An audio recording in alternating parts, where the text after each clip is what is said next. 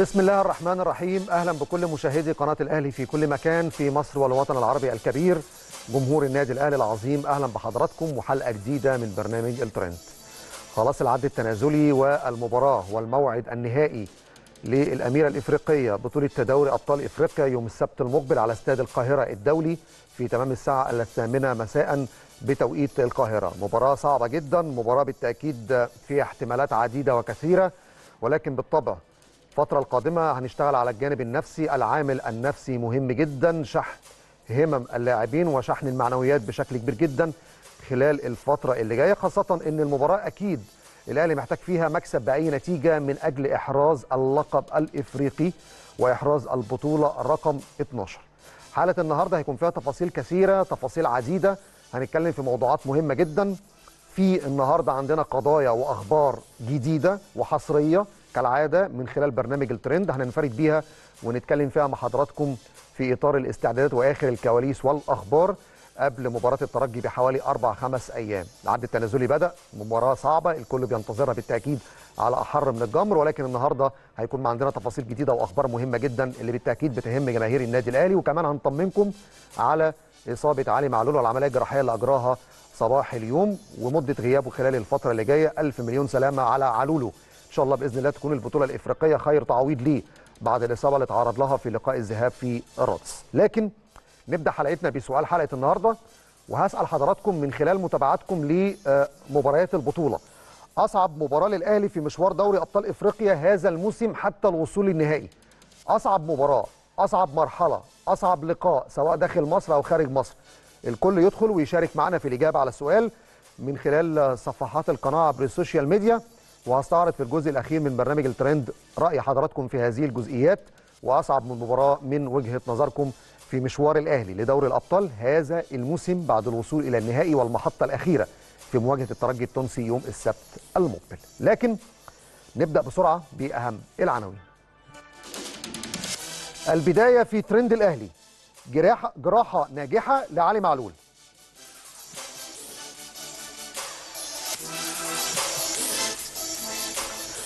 وكمان بعثة الترجي تصل الأربعاء.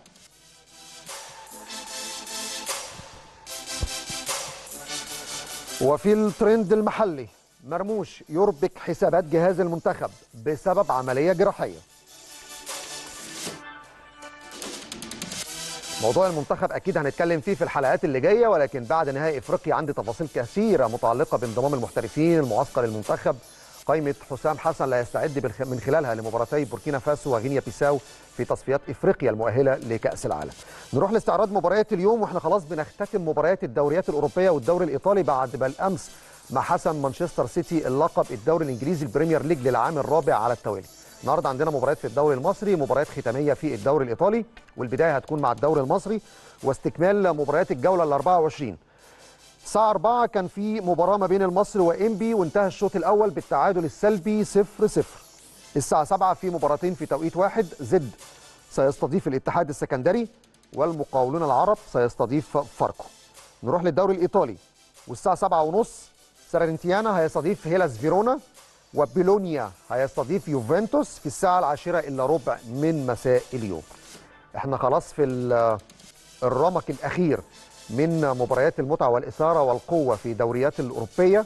كل الدوريات نقدر نقول اتحسمت بنسبة كبيرة جدا سواء الألماني أو الإيطالي أو حتى الإنجليزي بفوز السيتي لأربع سنوات متتالية بلقب ال Premier League. لكن الدوري المصري لسه مستمر. إحنا في الجولة ال 24 أهلي والزمالك لعبوا 15 مباراة فلسه الدوري مستمر لغاية نهاية شهر 8 بإذن الله. فاصل ثم نواصل.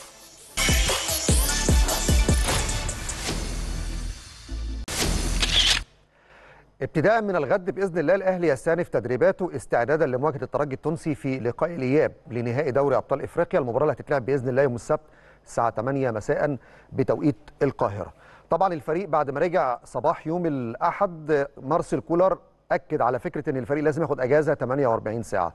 كانت في أجازة بالأمس والنهاردة تاني كمان يومين كده أجازة ومن بكرة إن شاء الله الفريق هيستأنف تدريباته يوم الثلاث بحيث يكون عندك تدريبات الثلاث والأربع والخميس وتدخل معسكر مغلق يوم الجمعة عقب نهاية المران المسائي على ملعب مختار التتش بجزيره أربع وحدات تدريبية هتكون كافية لمارسيل كولر للاستعداد والتحضير لمواجهة الترجي التونسي. ناس كثيره بقى بتسأل هل ممكن أحمد نبيل كوكا يعوض غياب علي معلول؟ هل ممكن مارسيل كولر يبدأ بكريم فؤاد في نفس المكان أو في نفس المركز اللي لعب بيه في لقاء الذهاب في تونس؟ هل أحمد عبد القادر ممكن يكون في حسابات الجهاز الفني في لقاء العودة؟ كل دي أمور أكيد بتشغل بال كل الأهلاوية. الناس كلها عايزة تطمن نتيجة إصابة وغياب معلول. عمرو السولية صعب يلحق لقاء العودة. هل في إضافات ممكن تتم على التشكيلة الأساسية؟ هل في إضافات ممكن تكون عناصر إيجابية تكون إيجابية في لقاء العودة وتكون تعوض في بعض التشكيل أو في بعض المراكز اللي ممكن يلعب بيها مارسيل كولر أمام الترجي؟ كل شيء وارد. لكن اللي عايز اكد أكده لحضراتكم إن أحمد نبيل كوكا وأحمد عبد القادر إن شاء الله بإذن الله جاهزين لخوض لقاء العودة والاثنين شاركوا في التدريبات الجماعية أثناء سفر الفريق إلى تونس في الفترة الماضية. إيه التشكيل؟ إيه طريقة اللعب؟ ده أمر يرجع لمارسيل كولر هو في النهاية اللي شايفه صح هيعمله. وإحنا دايما هنا متعودين مع حضراتكم ما بنتكلمش في التفاصيل الفنية كتيرة. وأنا طلبت من حضراتكم من امبارح لغاية ميعاد المباراة يوم السبت الكلام في الفنيات كتير مش هيكون إيجابي. فإيه الإيجابي؟ إن كلامنا كله الفترة الجاية يتكلم على فكرة الحضور الجماهيري المساندة التشجيع صوت الجمهور في الملعب بيبقى كبير جدا ومهم جدا. دي النقاط اللي مهم جدا نتكلم فيها. وأنا واثق تمام الثقة إن جماهير النادي الأهلي ضربت المثل كثيرا في مباريات نهائيات إفريقية عديدة. وجمهورنا بقى عنده خبرات في التعامل مع المباريات الإفريقية. إمتى بيشجع؟ إمتى بيحمس؟ إمتى يبدأ المساندة في المباراة؟ فإن شاء الله بإذن الله كل ده هيكون إيجابي في لقاء الترجي اللي هيكون على فكرة ما يختلفش كتير عن لقاء الذهاب في طريقة التكتيك وطريقة اللعب. الترجي هيجي يلعب على حاجة واحدة بس. هيقفل المساحات يلعب زون ديفense مش عايز يكون في هجمات يعني متبادلة مع النادي الأهلي وعايز يقفل على قد ما يقدر. عايز كل ما تكون النتيجة فيها تعادل سلبي هيأثر بالسلب على الأهلي فعايز يخطف على لعبة يجيب فيها هدف.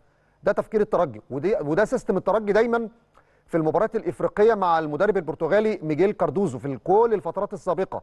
يتعادل على أرضه يكسب بهدف وبرة بيقفل ويلعب على هجمة مرتدة يخطف بيها جون. ولو خطف جون لا قدر الله مش هتتفرج على ماتش كورة. الماتش هيموت ومش هتشوف كورة خالص في مباراة يوم السبت اللي جاي. فالماتش صعب جدا. كل الحسابات مفتوحة وكل الاحتمالات موجودة.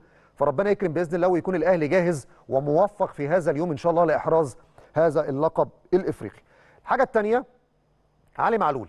وأنا قلت لحضراتكم امبارح في أشعة هيجريها علي معلول.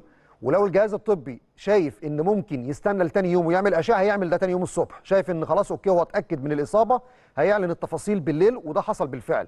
النادي الأهلي بالأمس أعلن من خلال دكتور أحمد جاب الله طبيب فريق النادي الأهلي إن علي معلول أجرى جراحة ناجحة وهيبدأ التأهيل بإذن الله خلال أسبوعين. ناس كتيرة بتسأل بقى طب مدة الغياب هتبقى قد إيه؟ مدة الغياب هتتحدد بعد انتظامه في البرنامج العلاجي والتأهيلي. وعايز أفكركم بحاجة مهمة جدا. فاكرين محمد الشناوي لما تعرض لإصابة في الكتف مع منتخبنا في كأس الأمم في الكوت ديفوار والناس كلها قالت الموسم انتهى لمحمد الشناوي والشناوي مش هيرجع قبل شهر ستة. أنا فاكر الكلام ده كويس جدا. وقتها الجهاز الطبي للنادي الأهلي لم يعلن مدة الغياب وقال لك إيه وقتها؟ قال لك هنحدد مدة غياب محمد الشناوي بناء على تفاصيل البرنامج التأهيلي. وبالفعل الشناوي سافر ألمانيا وعمل تأهيل هناك ورجع قبل الميعاد اللي الكل كان بيتكلم فيه قبلها بشهر ونص شهرين. والشناوي جاهز أهو للمشاركة في التدريبات والمباريات بقى له أكتر من أسبوعين ثلاثة نفس الأمر المعلول. الناس بتتكلم في ست شهور وتسع شهور. بإذن الله إن شاء الله أحد المكانين يا إما هيعمل تأهيل في قطر يا إما في نفس المركز التاهيلي اللي في ألمانيا اللي عمل فيه الشناوي التأهيل. بإذن الله إن شاء الله. مش أقل من أربع شهور ومش أزيد من خمس شهور. يعني إحنا بنتكلم طبعا الموسم بالنسبة لعلي معلول السنة ده هيبقى صعب جدا إنه يكمل الموسم هيخلص في 8 لكن علي معلول هيكون جاهز للمشاركة في المباريات بإذن الله بعد التأهيل مش قبل شهر 9 اللي جاي أو 10 اللي جاي. فكرة بقى الست شهور والتسع شهور إن شاء الله الأمر ده مش هيكون موجود وممكن كمان تكون المدة أقل من كده حسب سير البرنامج التأهيلي. ألف مليون سلام على علولو. الكل زعلان وحزين والكل كان متأثر بإصابة معلول أكتر من النتيجة على فكرة لأن معلول أصبح واحد من أبناء النادي الأهلي 8 سنين أخلص وأدى وظهر بشكل كويس جدا وبقى حلقة وصل وعلاقة طيبة جدا حتى بيننا وبين التوانسة بسبب الاحترافية والطريقة اللي أدى فيها معلول وتواجده مع النادي الأهلي وعلاقته الجيدة مع جماهير النادي الأهلي في السنوات الماضية. ده الموضوع الثاني. الموضوع الثالث وده مفاجأة، إحنا دايما هنا دايما بنحاول نشوف الجديد. نقرأ خبر آه نتكلم في كواليس نتكلم في تفاصيل محدش بيتكلم فيها عندي خبر فيه شقين. شق متعلق بتنظيم نهائي دوري أبطال إفريقيا بين الأهلي والترجي ومن خلال مش هقول مصادر بس مصادر مع قراية اللائحة. اكتشفت إن في خطأ ارتكبته رابطة الأندية وارتكبته إدارة المسابقات في رابطة الأندية. إزاي؟ لائحة دوري أبطال إفريقيا فيها بنود واضحة. لما الاتحاد الإفريقي بينظم مباراة أو بينظم فاينل على ملعب لازم الملعب ده يكون مع الاتحاد الإفريقي قبل المباراة ب 72 ساعة. طبعا لما بصيت على جدول الدوري لأن النهارده أنا عندي نص واضح في اللائحة هعلنه لحضراتكم بس الأول عايز أكشف بس عن تفاصيل كده. خلتنا النهارده في الترند نتكلم في موضوع ممكن يكون فيه قرار في الساعات اللي جاية. إذا ما كانش النهارده بكرة بس هيبقى فيه قرار هيبقى فيه قرار. ليه؟ ببص على مباراه الجدول الدوري الأسبوع ال 24 لقيت فيه مباراة للزمالك وفيتشر على استاد القاهرة يوم الخميس اللي جاي الساعة 7 مساء بتوقيت القاهرة. طيب الأهلي هيلعب مع الترجي يوم السبت الساعة 8 مساء بتوقيت القاهرة. كده الفارق الزمني ما بين ماتش الزمالك وفيتشر ومباراة الأهلي والترجي قد إيه؟ 48 ساعة. من خلال متابعتي لكل المباريات الإفريقية والحمد لله البرنامج هنا يمكن دايما قريب جدا من الكواليس والتفاصيل عارفين إن في المباريات الإفريقية لو حدث غير إفريقي بينظم على الملعب اللي هيستضيف اللقاء الإفريقي لازم الملعب ده لا تقام عليه مباريات قبلها ب 72 ساعة. ما بالكم بقى بنهائي دوري الأبطال. نهائي مهم جدا. الاتحاد الإفريقي موجود في القاهرة بقالي يومين عشان بينظم فاينل الكونفدرالية ونهائي دوري الأبطال. فرحت للائحه لقيت اللائحه فيها نص واضح. نستعرض معانا اللائحه كده على الشاشة. بصوا مع بعض كده. دي لائحة دوري أبطال إفريقيا. المادة الثالثة الفقرة الخامسة الجزئية الثانية اللي هي من أول كلمة نو no ماتش الفقرة دي ترجمتها معناها إيه؟ لا ينبغي تنظيم أي مباراة أو حدث في الملعب الذي يستضيف مباريات دوري أبطال إفريقيا قبل 72 ساعة من الموعد المقرر لانطلاق المباراة. معنى كده فقرة واضحة قدامكم اهي وموقع الاتحاد الإفريقي عليه لائحة دوري الأبطال والأمور واضحة جدا. لما شفت جدول الدوري وبصيت على لائحة الاتحاد الإفريقي استغربت. ليه؟ في نص واضح في اللائحة. وماتش الأهلي والترجي أكيد الاتحاد الإفريقي عايز يستلم الملعب طبقا للائحة قبلها ب 72 ساعة. والأمور التنظيمية في الماتش اللي جاي مهمة جدا بعد اللي حصل امبارح. ومش هدخل في تفاصيله دلوقتي. ولكن لما الرابطة تبرمج مباراة بحجم مباراة الزمالك وفيوتشر على استاد القاهرة يوم الخميس الساعة 7 بالليل ده مخالف للائحة الاتحاد الإفريقي. وحسب معلوماتي سبق قبل كده الاتحاد الإفريقي بعت للرابطة وبعت لاتحاد الكورة قال لهم الجزئية دي كذا مرة أنا حذرت منها أرجوكم ما تنظموش مباريات محلية على الملعب اللي هتقام عليه مباريات إفريقية. لدرجة من المرات أو في إحدى المرات كانت في مباراة بتتلعب على استاد القاهرة قبل يوم من المباراة الإفريقية. وإحدى الفرق اللي كانت هتلاعب الأهلي كانت المفروض تتمرن على ملعب المباراة. اتأخر تدريبها حوالي ساعتين بسبب ارتباط الملعب بمباراة في الدوري المحلي. ودي للمرة الثالثة أو الرابعة تحصل السنة دي. وخلال الساعات اللي جاية حسب معلوماتي إن الاتحاد المصري هيضطر لتغيير في مكان إقامة مباراة الزمالك وفيوتشر تتلعب بقى في السلام تتنقل برج العرب ما أعرفش إيه اللي هيحصل في الفترة اللي جاية. لكن معلوماتي طبقا لهذه اللائحة في خطأ حصل من رابطة الأندية وفي خطأ حصل من إدارة المسابقات من خلال الأستاذ عامر حسين ووارد جدا يتم تدارك هذا الخطأ خلال الفترة اللي جاية. ليه أنا بتكلم في النقطة دي دلوقتي؟ لأن إحنا شايفين من إمبارح للنهاردة بعد بيان الاتحاد الإفريقي اللي صدر منذ قليل وقبل بداية الحلقة على التنظيم والإجراءات الأمنية اللي تمت في استاد القاهرة ما بين الزمالك مع الاتحاد الإفريقي في نهائي الكونفدرالية. وحسب معلوماتي وكنت حذرت من الجزئية دي الأسبوع اللي فات وبأكد عليها تاني عشان ماتش الأهلي السبت اللي جاي. وده بقى خبر مهم جدا بقوله لحضراتكم. في تحذير رسمي صدر في الاجتماع اللي تم من خلال قسم الأمن في الاتحاد الإفريقي مع الأهلي والزمالك في استاد القاهرة الأسبوع الماضي. وحذروا وقالوا نصا. أنا بأكد الكلام ده تاني عشان ماتش الأهلي اللي بإذن الله كالعادة. هنشوف تنظيم مختلف تماما. الأهلي متعود على تنظيم النهائيات فهنشوف تنظيم مختلف بإذن الله. ولكن الجزئية دي بفكر بيها الناس. لعل وعسى الناس تاخد بالها من الجزئيات دي لأن دي المشكلة اللي ممكن أو اللي مش ممكن. هي خلاص حولت. ماتش امبارح في الكونفدرالية لجنة انضباط. إيه هي المشكلة؟ القسم بتاع ال security officer في الاتحاد الإفريقي بيحذر من تواجد الأسر والأطفال. وأي شخص ليس معني بالمباراة إن يتواجد في أرضية الملعب قبل أو أثناء مراسم التتويج وأثناء تسليم الميداليات.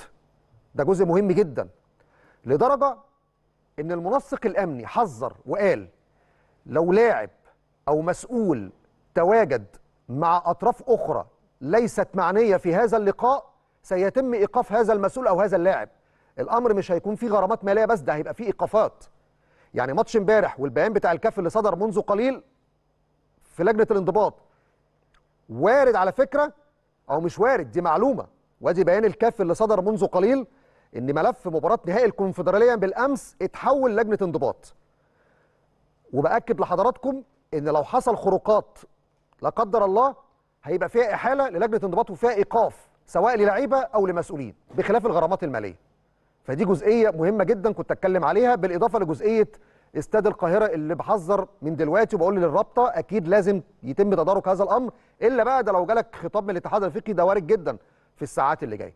ده خبر مهم ودي قضية مهمة كان لازم النهارده نتكلم عليها في برنامج الترند. لكن كل الثقة بالتأكيد في تنظيم الفاينل لأن الأهلي عنده خبرات كبيرة جدا في تنظيم النهائيات في الفترة السابقة. فاصل ثم نواصل. طيب على الجانب الآخر فريق الترجي التونسي سيصل القاهرة بسلامة الله بإذن الله مساء يوم الأربعاء اللي جاي. خلاص تم الاتفاق وتم الاختار في الساعات الأخيرة. مسؤول الترجي حددوا ميعاد وصولهم إلى القاهرة مساء يوم الأربعاء لخوض مباراة إياب نهائي دوري أبطال إفريقيا أمام النادي الأهلي. يمكن في الأيام الأخيرة الترجي التونسي كان عمل عدة اجتماعات لتحديد ميعاد وصوله.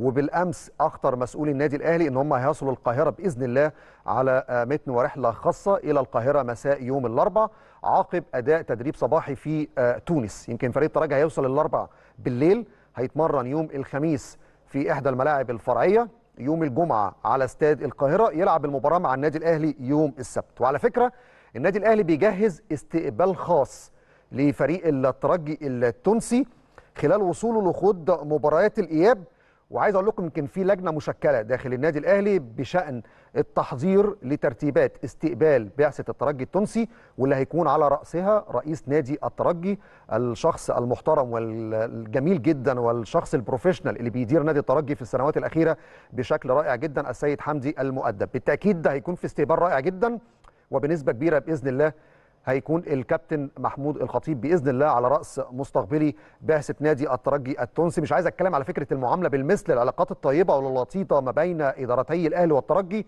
أكبر من فكرة إن هيبقى في معاملة بالمثل زي ما الترجي استقبل الأهلي الأهلي هيستقبل الترجي. الأمر مش ماشي كده خالص. العلاقة ما بين الناديين على المستوى الرسمي أو على المستوى الجماهيري أكبر من فكرة لجان مشكلة واستقبال رسمي هنا وهناك. العلاقات طيبة جدا الاتصالات متبادلة بين رئيس النادي الأهلي ورئيس نادي الترجي التونسي حتى على المستوى الإعلامي سواء هنا في مصر ما بين إعلامي النادي الأهلي مع الإعلاميين في تونس. هتشوفوا حتى لقاءات في الفترة القادمة لأن في وفد إعلامي تونسي هيبدأ يوصل القاهرة من بكرة. يمكن عايز أقول لكم الوفد الإعلامي التونسي بيقترب من حوالي من 60 إلى 70 صحفي إذاعات مختلفة نقاد رياضيين وصحفيين وإعلاميين هيكونوا موجودين في القاهرة. للتغطية الإعلامية لهذا اللقاء المرتقب يوم السبت المقبل. ففي الأيام اللي جاية هيبقى في إيفنتات كتيرة هيبقى في أحداث مهمة جدا هيبقى الاستقبال على أعلى مستوى من طرف النادي الأهلي مع فريق الترجي التونسي. هل الترجي التونسي هيبقى فيه إضافات على العناصر اللي موجوده في لقاء الإياب عن لقاء الذهاب؟ لا مش هتشوفوا اختلاف كتير. نفس العناصر اللي لعبت لقاء الذهاب حتى بدكة البدلاء هي هي. الراجل بيشتغل في 20 لعيب ما بيغيرش فيهم كتير. المهم إن الأهلي بإذن الله يكون في أتم الجاهزية لخوض لقاء العودة. فاصل ثم نواصل.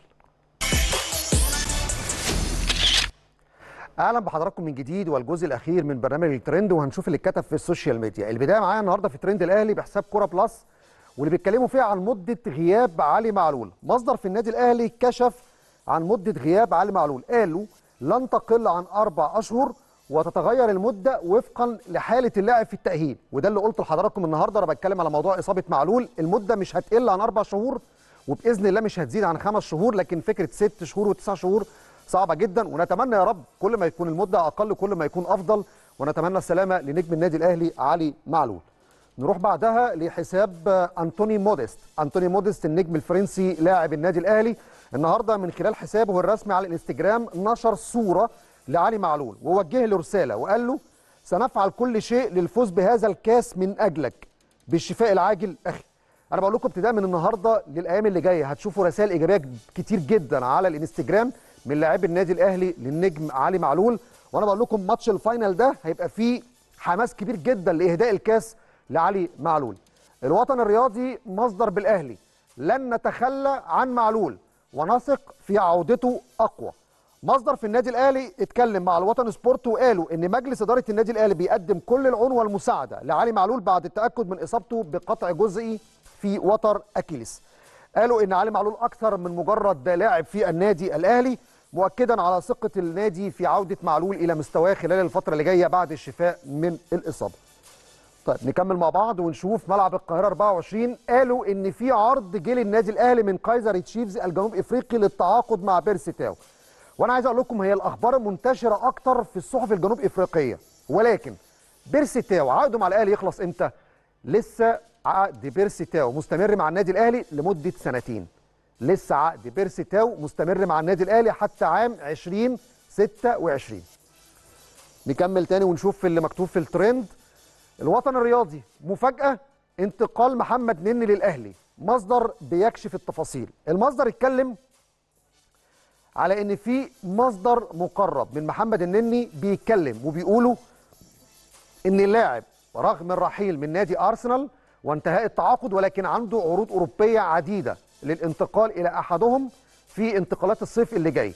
أبرز هذه العروض من نادي جلاتا سراي التركي اللي داخل في منافسة ثلاثية مع ناديين من تركيا عشان يتعاقدوا مع النني خلال انتقالات الصيف.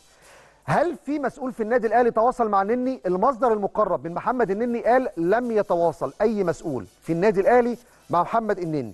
وكل الأمور اللي بتتقال دي كلها اجتهادات صحفية. وارد نظرا لمشاركة الأهلي في مونديال الأندية 2025 إن البعض بيعتقد إن الأهلي هيدعم بلاعبين محترفين ممكن تعاقداتهم تنتهي في هذا العام أو العام المقبل عشان يلعبوا مع الأهلي مونديال الأندية. ولكن بأكد لحضراتكم انني لغاية اللحظة دي الأخبار هتبقى كتير الكلام هيكون كتير ومش هنتوقف عند الخبر ده بس. لا الأخبار هتفضل مستمرة معانا لغاية شهر 6 و7 اللي جاي.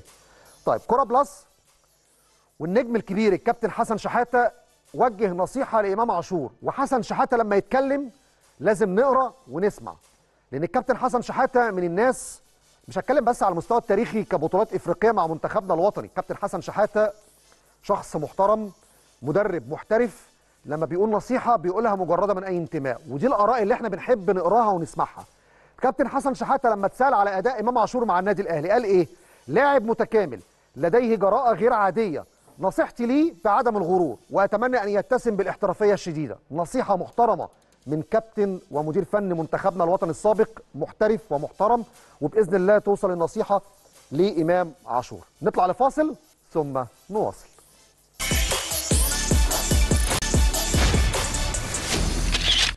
أهلا بحضراتكم من جديد وآخر فقرة معانا في برنامج الترند. هستعرض فيها خبر مهم جدا في الترند المحلي من ملعب القاهرة 24 حسام حسن المدير الفني لمنتخبنا الوطني بيطلب حضور محمد صلاح مبكرا لمعسكر مباراتي بوركينا وغينيا بيساو. طبعا هنا الكابتن حسام بيطالب صلاح بالحضور قبل ميعاد الأجندة الدولية اللي هتبدأ 3 6 فهل ممكن صلاح يستجيب وينضم زي اللاعبين المحليين؟ ده هنشوفه في الأيام اللي جاية. بس حسب معلوماتي إن أصلا صلاح حتى في الفترات السابقة كان بينضم بعد أول يوم من الأجندة الدولية. هتبقى جديدة لو صلاح انضم لمنتخبنا قبل ميعاد الأجندة وأعتقد هتبقى يعني ترمومتر نبدأ نقيس فيه العلاقة ما بين الجهاز الفني للمنتخب مع المحترفين وتحديدا محمد صلاح. نروح للمشاركات والسؤال اللي طرحناه في بداية الحلقة على سؤال حلقة النهارده. أصعب مباراة أو أهم مباراة أنت شفتها مع النادي الأهلي في دوري أبطال إفريقيا السنة دي؟ أستاذة زينب بتقول مساء الخير والسعادة مباراة مازيمبي ثم الترجي. هي شايفة دول أصعب مباريات للأهلي في دوري أبطال السنة دي. نروح لنوره بتقول مساء الخير مساء الخير يا نوره بتقول مباراة سيمبا هناك وبعدها الترجي. سيمبا هناك اللي إحنا كسبناها على فكرة 1-0 ماشي. نشوف رأي تاني. أستاذ ياسر بيقول مباراة مازيمبي وبعدها النهائي وإن شاء الله البطولة من نصيبنا بإذن الله. وألف سلامة على الأسطورة معلول. ربنا يشفي. للأسف كنت عايز أستمر في استعراض المشاركات والسؤال اللي طرحناه ولكن وقت الحلقة جري معاكم بسرعة. في الختام بشكر حضراتكم بالتأكيد على حسن المتابعة والمشاهدة وغدا لقاء جديد في برنامج الترند. شكرا وإلى اللقاء.